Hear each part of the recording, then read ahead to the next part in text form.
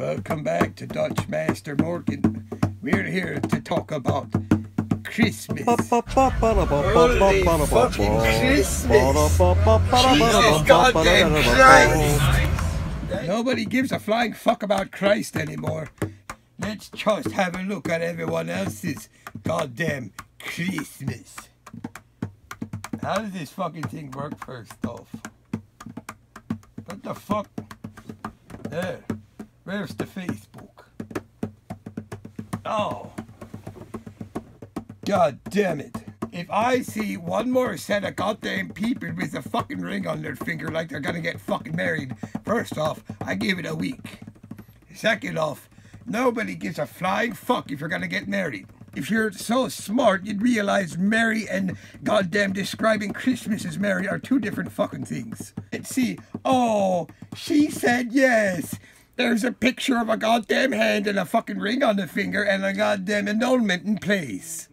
Annulments cost money. I give it a fucking week. Look, let's get our pictures taken together. And he has a beard. A nice goddamn beard. And he's so attractive. Oh, I just want to suck his goddamn penis novels.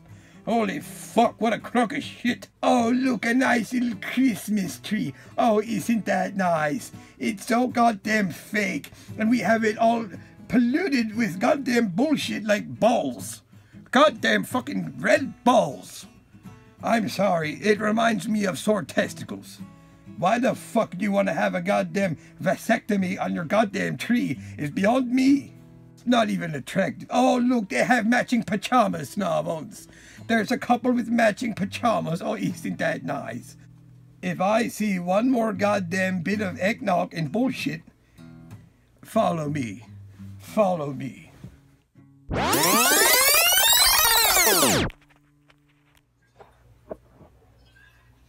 Did you know I knew your Aunt Margaret?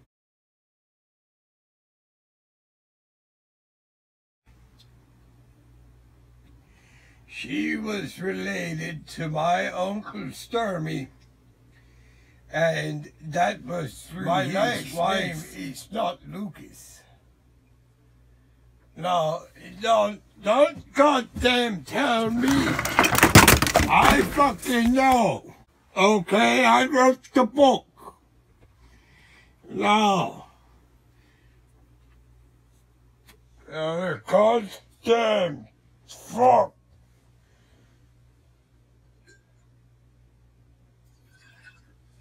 This Eden's to greetings.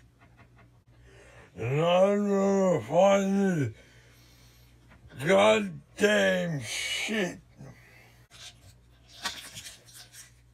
God. Ah, I wet myself again. Or do you prefer it dry? Like a martini.